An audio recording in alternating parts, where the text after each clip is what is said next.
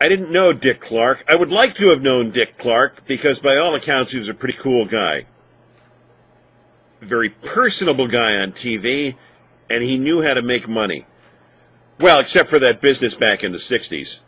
The story goes that he owned a piece of Swan Records, which frankly I never heard of and nobody else did either. But it was Swan Records that first put out the Beatles in this country. Unfortunately for Dick Clark, by then, his interest in Swan Records had been sold because he was called before Congress during the Payola hearings, and while he testified that no record companies paid him off, he sold off Swan Records to avoid the appearance of impropriety. He said later it cost him $8 million.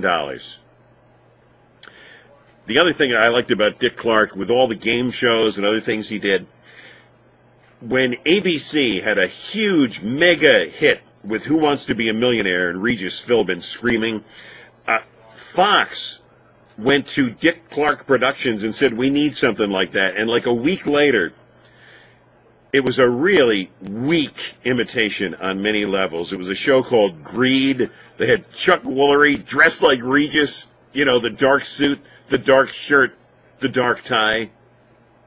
Kind of like what some of my coworkers still wear on TV, but I won't get into that.